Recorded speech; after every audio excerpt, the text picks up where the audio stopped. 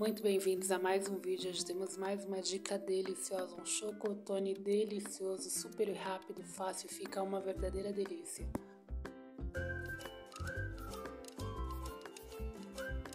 Chocotone nós vamos colocar no liquidificador 3 ovos, 3 colheres de sopa de margarina, 120 gramas de açúcar, 2 colheres de sopa de essência de panetone, 2 colheres de sopa de essência de panetone e um sachêzinho de fermento biológico seco, 10 gramas. Vou finalizar aqui com 250 ml de água morna. Aí você bate para liquidificar bem esses ingredientes por 2 minutinhos. Para que eu já aqui transferi os meus ingredientes batidos, eu vou adicionar a farinha de trigo. São 500 gramas de farinha de trigo. Aí você vai adicionando aos pouquinhos e vai misturando.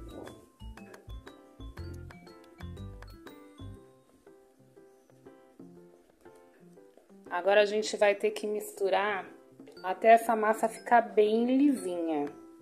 Eu vou misturar bem aqui para envolver e depois eu vou mostrar para vocês o jeito de vocês irem puxando ela para ela ficar mais lisinha, mais rápido. Você percebe que a massa ela já está mais pesadinha. A gente vai continuar mexendo ela até ela ficar bem lisinha. A massa já ficou bem mais lisinha. Eu vou cobrir ela com filme plástico e deixar ela descansar por 30 minutinhos. O legal para você conseguir fazer a massa chegar nessa consistência mais lisinha é você vir puxando assim, ó. Você vem puxando, batendo assim, depois que você já misturou tudo, que daí ela vai mais rápido chegar na consistência que você precisa. Se você tiver batedeira e também quiser bater na batedeira, você economiza braço, mas dá para fazer das duas formas.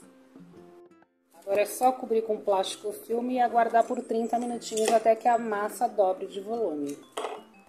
Minha massa já descansou, olha só, ela cresceu. Eu vou transferir aqui para minha forminha de panetone. Só que antes eu vou adicionar aqui os chocolatinhos em gota. Eu tenho 200 gramas de chocolate em gotas, eu vou misturar aqui toda a minha massa.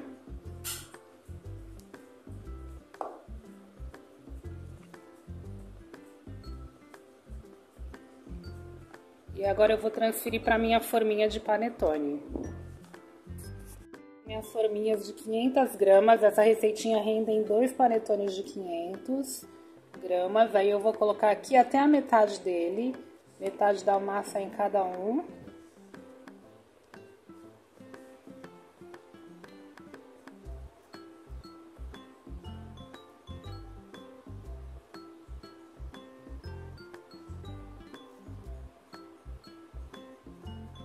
Transferi aqui a massa, agora eu vou tampar e vou deixar ele descansar por 30 minutinhos e depois a gente leva pro forno.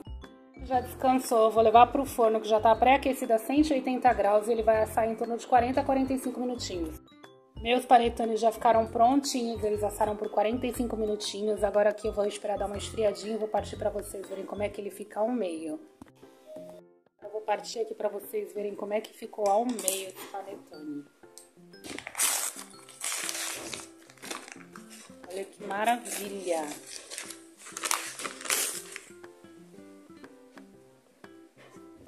Super macio.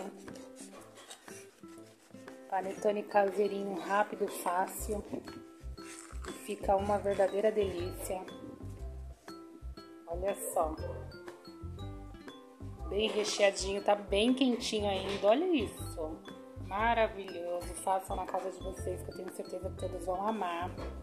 Aproveitando, deixa o seu like para ajudar esse vídeo a ser entregue a outras pessoas que também querem uma dica deliciosa como essa.